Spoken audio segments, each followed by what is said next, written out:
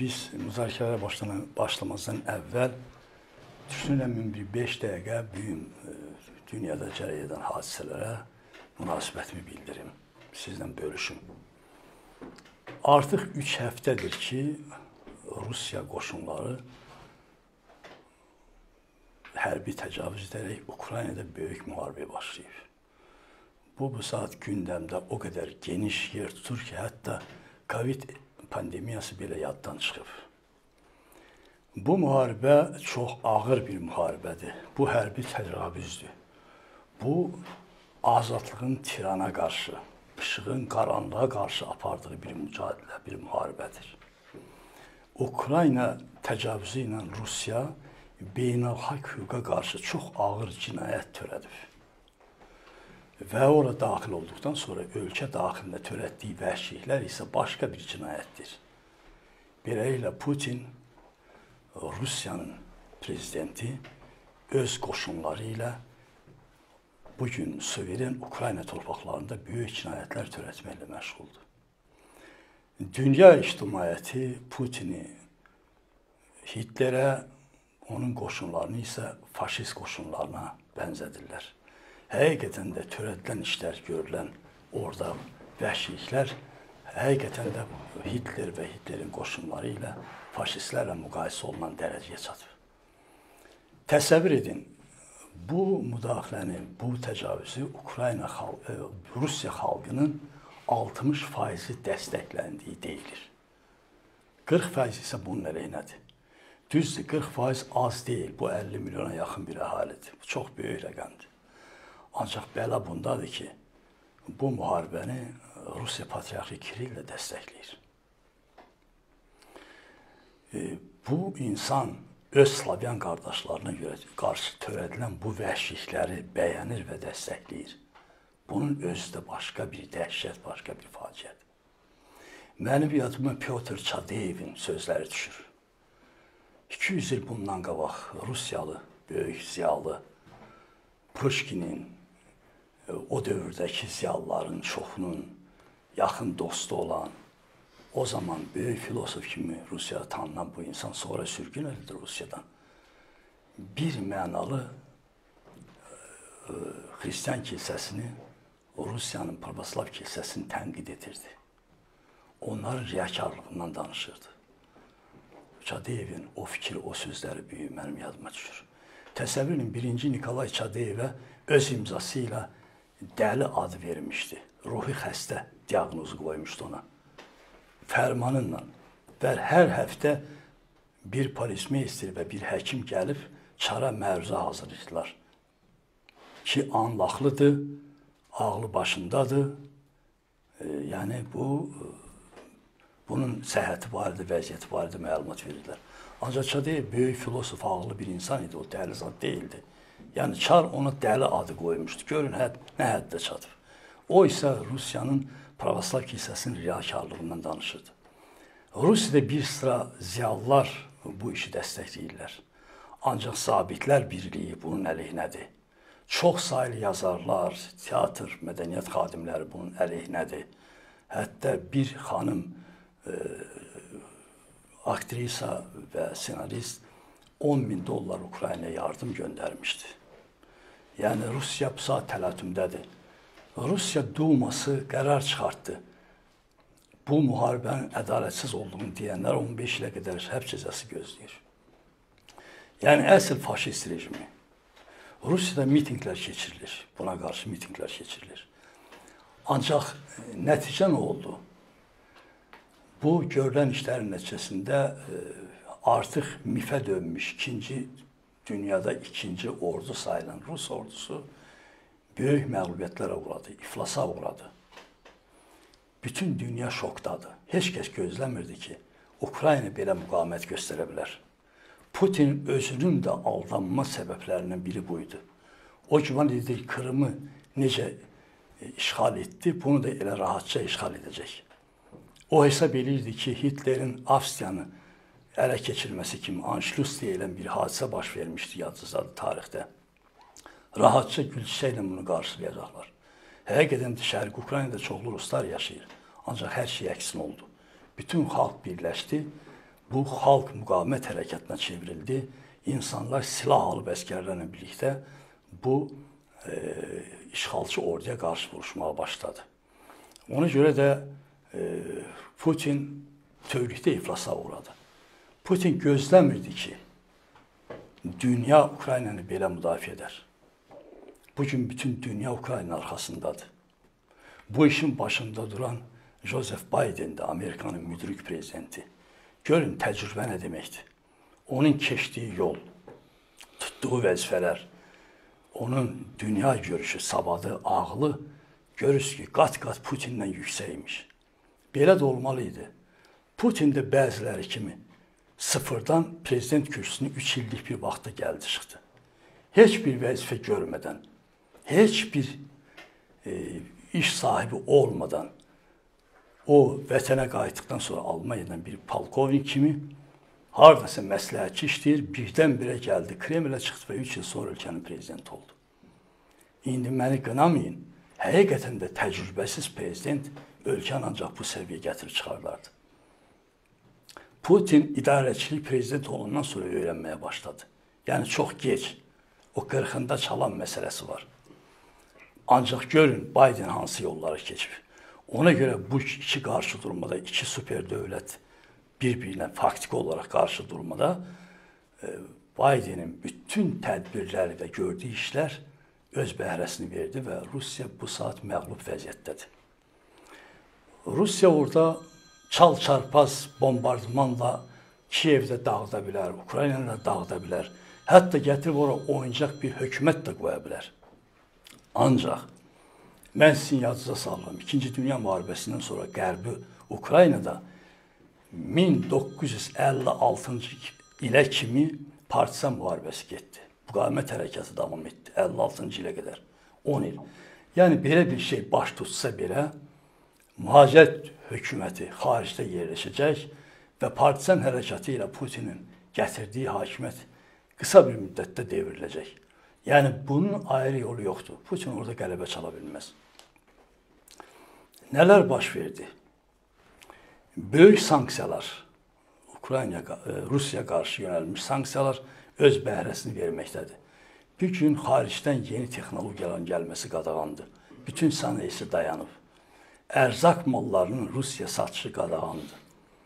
50, 60, 90 faizə qədər ərzaq xaricdən gəlir. Sadəcə bir misal çəkim. Toxumluq kartofun 90 faizi Ukraynaya xaricdən gəlir. İndi təsəvvür edin kənd təsərrüfatı nə vəziyyətə düşəcək. Bütün sayan dayanıb. Bank sistemi dondurulub. Qadağalar bütün sahələrə hədd edib. İdmandan tutmuş mədəniyyətə qədər. Ondan tutmuş iqtisadiyyata qədər. Putinin ümid etdiyi böyük dövlətlərdən biri də Çin idi. Çin qəti etiraz etdi və bu gün Ukraynanı dəstəkləyir. Ukraynanı dəstəkləyir. Ola bilər ara-sıra hansısa fikirlər söylənsin, ancaq bütövlükdə bu gün Putini bir neçə diktatordan başqa heç kəs dəstəkləmir. Vaxtilə 39-un 1939-cu ildə kiçik Finlandiya hücum edərək SSR çox çətinliklə Finlandiyaya qalib gəldi. Ancaq 300 minə yaxın əskər zabit itirdi. 300 bin nəfərə yaxın böyük toqquşma oldu. Və bəlkə də Hitlerin SSR-yə hücumun səbəblərindən biri də buydu. Dünya gördü ki, sən demə Rusiyanın SSR-nin o vaxt qoşunları o qədər də böyük, güclü, qüdrətli deyilmiş. Və bunun üstə Baraşilovu Stalin həmən hərbi e, nazirdən, nazirlikdən uzaqlaşdırdı. O müdafiə naziridir, o narkom deyildilər. Uzaqlaşdırdı. Yəni o acı tarix indi təkrarlanır. Putinin bütün ümidləri boşa çıxdı. Heç nəyə nail ola bilmədi. Və o vaxt Millətlər Liqasından SSR-ni uzaqlaşdırdılar. Bu BMT o vaxt Millətlər Liqası adlanırdı. Bu iş təkrar ola bilər bu gün. Ancaq nə də olsa Birləşmiş Millətlər Təşkilatının özündə də geniş islahatlar aparılacaq. Buna şübhəm yoxdur. Ola bilər, düşünürəm ki, Rusiyanı BMT Təhlükəsizlik Şurası üzvlüyündən xaric etsinlər. Niyə görə? Çünki bu gün bu hadisələr başa çatan kimi dünyada yeni düzen başlayacaq. Bu yeni düzəndə əlbəttə ki, BMT Təhlükəsizlik Şurasının tərkibi dəyişməlidir. Aparılan işlərin hamısına Rusiya orada qalsa mane olacaq. Veto hüququndan istifadə edir. Heç bir qərar qəbul etmək mümkün olmayacaq. Ancaq çox böyük işlər görmək lazımdır. Dünyada bir sülh düzəmi yaratmaq lazımdır. Diktatorlar hər yerdə hakimiyyətdən getməlidir. İnsanlar azadlığa çıxmalıdır. Xalqlar azad olmalıdır. Və dünya bir saat mexanizm kimi iqtisadiyyatdan tutmuş, mədəniyyətdən tutmuş, siyasətinə qədər işləməlidir. Özü də düzgün. Heç bir dövlət bu düzəmə qarşı, bu sistemə qarşı fəaliyyət göstərməməlidir. Dünyanın bu quruluşu, yaranacaq quruluşun əleyhinə getməməlidir. Ona görə Suriyadan tutmuş Şimali Koreyaya qədər hər şey dəyişməlidir. Belə bir vəziyyətdə əlbəttə ki, BMT-də islahatlar vacibdir və güman edirəm ki, BMT Təhlükəsizlik Şurasının tərkibi dəyişəcək. Burada Türkiyənin böyük şansı yaranır. Güman edirəm ki, Türkiyə əgər xarici siyasətində bir balaca dəyişiklik etsə, hər zaman da edib, güman edirəm indi də çalışacaq və onun İngiltərənin böyük dəstəyi ilə Təhlükəsizlik Şurasının üzvü olmaq ehtimalını mən güman edirəm. Ola bilər 5 nəfər yox, indi 7 e, dövlət orada üzv olsun, 9 olsun. Say da arta bilər. Ancaq Türkiyənin orada olma şansı var və mən bunu böyük ümidlə gözləyirəm. Bu gün müəssisələrin işləmədiyinə görə Türkiyə Rusiyada 100 minlərlə işsizlər orada yaranır. Hələ ki xalqın o ac, çörək buntu deyirlər, üsyanı, o hələ baş verməyib. Ancaq iş ona gedir. Çünki bu sanksiyalardan sonra deyilənə görə Rusiya iqtisadiyyatının 50% artıq çöküb və istehsal olmadığına görə hətta ərzaq çatılmazlığı baş verəcək. Müəssisələr bağlanır və böyük üsyan dalğası başlaması ehtimalı var. Ona görə də e, güman edirəm e, Rusiyada yaxın zamanda böyük təlatümlər gözlənilir. Bunun əlbəttə ki, MDB-də ətraf ölkələrə, hətta bizə də təsir olacaq. Çünki biz xeyli malları da oradan alırıq. Mən necə proqnozlaşdırmaq olar? İşin gedişatını nə etmək olar? Güman edirəm bu müharibə e, aprelin sonuna qədər bitməlidir. Mən belə düşünürəm. Hesablamalar onu göstərir ki, aprel ayının sonuna qədər bitməlidir. Ancaq Putin bu gün biraz güya sakitləşib, ancaq o yeni ordu yığır. Suriyadan gətirir, oradan gətirir, buradan gətirir. O yeni hücuma hazırlaşır. Mən yaxın zamanlarda e, Rusiyanın Ukraynada yeni bir hücumunu gözləyirəm. Bu hücumla o ola bilər.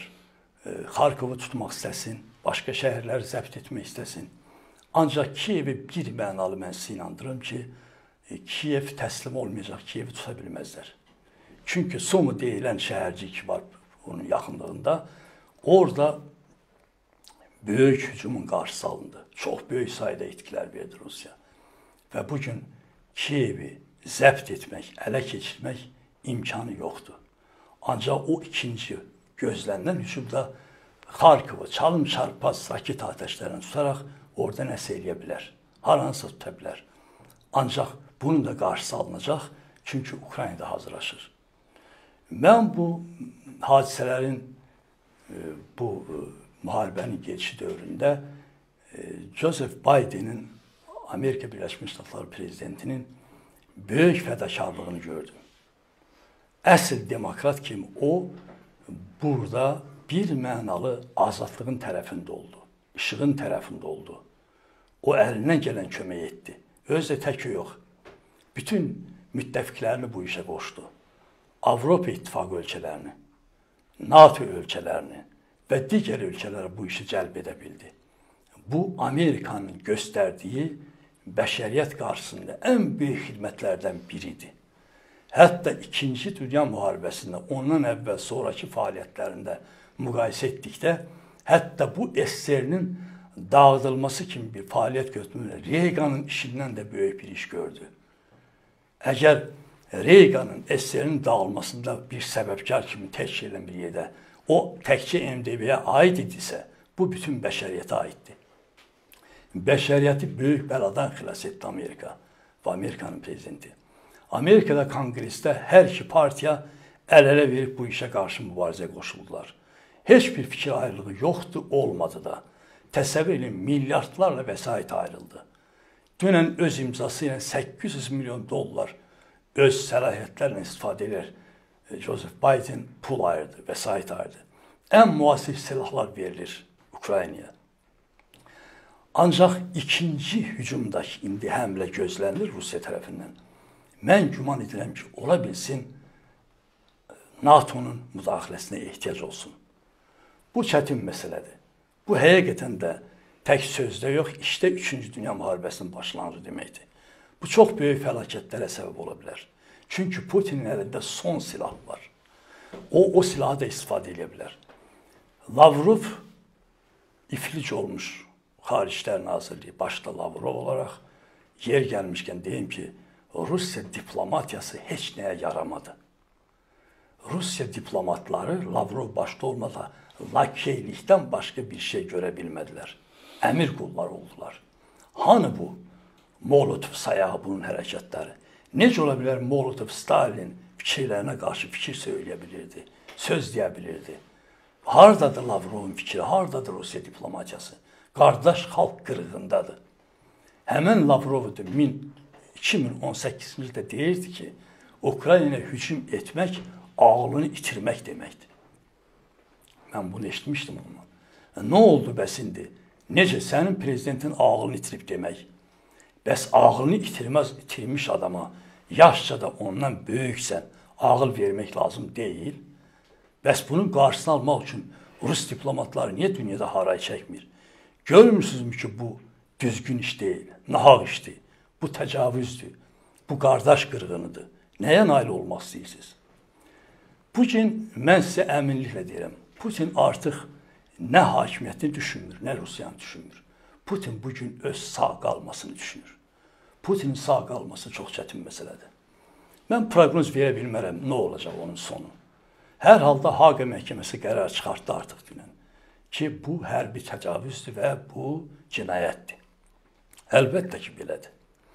Rusiyanın Duması bu işğala səs verən, o Qondarma Respublikasının e, tanınmasına səs verən Duma deputatları kənarda qala bilməz. Putinin Təhlükəsizlik Şurasının üzvləri ki var, əsasə dili dolaşa-dolaşa buna bəli deyirdilər. Onlar kənarda qala bilməz. Bəs yaxşı, Putin gedəndə onda nə olacaq? Duma işə yaramır, Putin ətrafı işə yaramır. Əgər Navalnini həbsxanada sui-qəsd eləməsələr, sağ qalsa, güman edirəm ki, Navalni hakimiyyətə gələ bilər.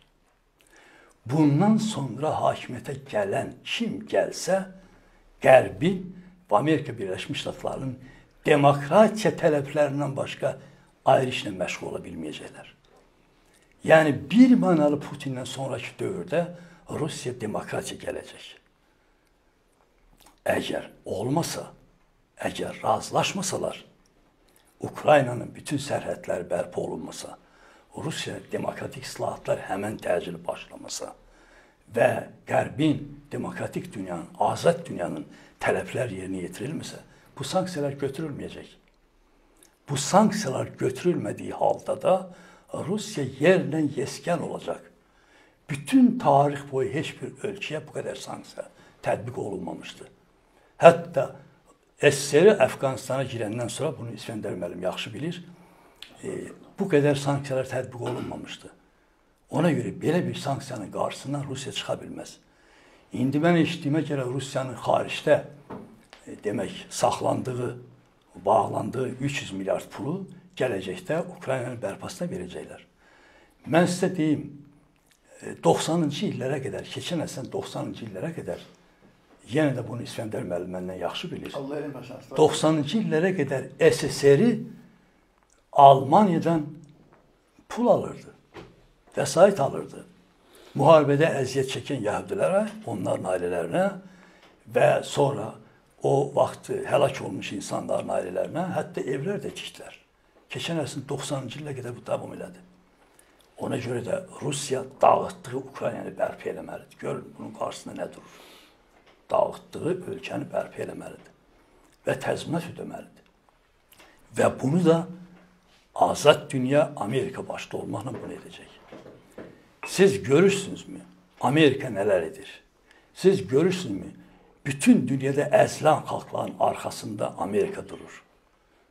Bütün dünyada demokratiyanı bərqərar etmək istəyən Amerika və onun bugünkü prezidenti hörmətli Joseph Biden əzilən xalqları azadlığa çıxartmaq istəyir.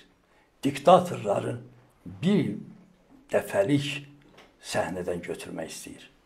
Siyasətdən uzaqlaşdırmaq istəyir. Bu çox xalqların arzusudur.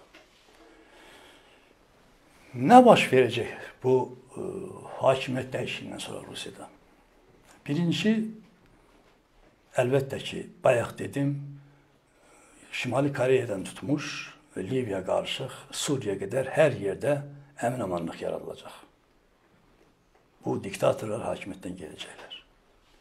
Bizi maraqladan MDB-dir. MDB-də Ukrayna təbii ki, özünün cəsur və ağıllı prezidenti Zelenskinin başçılığı ilə demokratiya inkişaf edəcək, ölkəsi çiçəklənəcək. Gürcüstan, Ermənistan, Moldova Rusiyanın təhdidindən xilas olub demokratiyanı genişləndirəcəklər və bütövlükdə Orta Asiya ölkələrində, Qazaxstanda demokratik hərəkətə başlayacaqlar. Ola bilər bəzi rəhbərlər də orada e, vəzifəsindən keçsinlər. Amerika ordu götürüb gəlib bir-bir bu ölkələrdə çevriliş zad eləməyəcək. Amerika Birləşmiş Ştatları sadəcə demokratik cəmiyyətin qurulmasını tələb edəcəklər. Nə deməkdir demokratik cəmiyyətin qurulması? İnsanlara azad söz demək imkanı verəcəklər. Sərbəst toplaşmaq azadlığı verəcəklər. Fikir söyləmək azadlığı verəcəklər. Və nəhayət azad demokratik seçkinin keçirilməsini tələb edəcəklər. Təbii ki, Bu hadisələrin fonunda Azərbaycan bizim diqqətimizdən kənarda qala bilməz. Azərbaycanda nə baş verəcək? Bayaq dediyim kimi Amerika ordu gətirib Azərbaycanda dövlət çevrilişi yaxud da hakimiyyət dəyişikliyi eləməyəcək. Amerika eyni tələblər Azərbaycan qarşısında qoyacaq. Ona görə də mən güman edirəm Azərbaycan iqtidarı prezident İlham Əliyev başda olmaqla təcili tədbirlər görməlidir. Çox təcili tədbirlər görülməlidir. Azərbaycanda bu gün iki problem var. Qarabağın tam azad olub sərhədlərimizin bərpası, suverenliyimizin möhkəmləndirilməsi, Rus işğalçı qoşununun Qarabağdan çıxarılması, ikinci də xalqın gözlədiyi dəyişikliklər. Xalq nə istəyir? Xalq demokratik dəyişikliklər istəyir. Xalq azadlıq istəyir. Xalq iş yeri istəyir. Xalq firavan həyat istəyir. Xalq başqa şey istəmir. Nə heç kəsi öldürmək, devirmək, dağıtmaq fikri yoxdur Azərbaycan xalqının. Elə də bizim kimi müxalif partiyalar, bizim hamımızın istədiyimiz də budur ki, Azərbaycanda təcili islahatlar başlasın. Və dediklərimizi eləmək üçün nədən başlamaq lazımdır? Mən Azərbaycan iqtidarına başda prezident İlham Əliyev olmaqla məsləhət edərdim ki, təcili ətrafındakı ballastdan xilas olsun o harınlanmış məmurların hamısı günü sabahdan istefaya göndərilsin. İkinci, mən çox istərdim ki, Azərbaycanda demokratiya bir pəncərə açılsın, bir qapı açılsın. Azərbaycanda demokratiyamızın başında, önündə gedən seçkilərdir. Azərbaycanda demokratik seçkilərə start verilsin. Bunun üçün seçki qanunumuz ya dəyişdirilsin, ya da yeni seçki qanunu qəbul olunsun. Və bütün müxalif partiyalara imkan verilsin hakimiyyətlə dialoq qurmağa, əlaqə yaratmağa, fikir mübadiləsi aparmağa. Mən şübhə etmirəm ki, başqa müxalifət partiyaları da bizi kimi bu gün hazırdılar Azərbaycanın bu ağır vəziyyətdən çıxarması üçün Azərbaycan hakimiyyətinin həqiqi dialoqa getsin bu həqiqi dialoqu təşkil etmək lazımdır. Bunu prezident səviyyəsində eləmək lazımdır. Bunun üçün də bayaq dediklərimdən başqa biz aylarca artıq bir ildən artıq təklif etdiyimiz müvəqqəti etimad hökumətin yaradılmasıdır. İş ona gedir. İş ona gedir. Ağır vəziyyətdən çıxmağımız üçün biz hakimiyyətlə əməkdaşlıq etməliyik. Müvəqqəti etimad hökuməti yaratmalıyıq. Bu hökumət müvəqqəti olaraq Azərbaycanda islahatlara rəhbərlik eləməlidir. Prezident də prezident kimi öz fəaliyyətini davam etsin. Sonra da seçki qanunu dəyişdikdən sonra seçkilərə gedilməlidir. Seçkilərdə də yapından istənilən namizədi iştirak edə bilər. Bugünkü prezident İlham Əliyev də və digər yapçılar kim istəsə həmin seçkilərdə iştirak edə bilərlər. Azərbaycanın yolu budur. Azərbaycanın yeganə yolu budur. Bir daha deyirəm, heç kim gəlib bizə deməyəcək ki, iqtidarı biz deviririk. Heç kəs gəlib bizə deməyəcək ki, biz burada üsyan hazırlayırıq, çevriliş hazırlayırıq. Xeyr. Bunu nə etmək istəyən xalq var, nə də göstəriş vermək istəyən bir dövlət. Sadəcə tələb qoyulacaq. Azərbaycanda demokratik açılma getməlisiniz. Xalq azad seçkilər keçirməlidir. Xalq ölkə rəhbərlərini özü seçməlidir. Parlamenti özü formalaşdırmalıdır. Əgər prezident İlham Əliyev belə bir yaranmış şəraitdə doğru yol seçərsə, xalqın etimadını da qazana bilər. Bütün müxalif qüvvələrlə də birləşə bilər. Xalqımızı da bu ağır vəziyyətdən çıxarda bilər. Və Qarabağda da işğal olunmuş torpaqlarımızı azad edə bilər. Təcili e, Rusiyadan uzaqlaşmaq lazımdır. Təcili Rusiya ilə heç bir separat, açıq, gizli danışıqlara getmək olmaz. Bu Azərbaycanın fəlakəti deməkdir. Mən inanmıram ki, İlham Əliyev xalqından qorxur. Mən onu inandırmaq istəyirəm ki, sən əl uzatsan, xalq sənə əl verəcək. Ancaq bu şərtlə ki, yeni seçkilər demokratik olmalıdır. Azərbaycan qanunları ilə demokratik seçkilər olmalıdır. Və bu şansı qazanmaq imkanı var İlham Əliyevin. Baxın, Zelenski qısa bir müddətdə dünyanı fəth etdi. Zelenskinin onlayn çıxışını Amerika Konqresi İskəndər müəllim ayaq üstə, Zərif Muhammed ayaq üstə qarşıladılar. Elə deyilmi? Təsəvvür edin. Mən e, kövrəldim.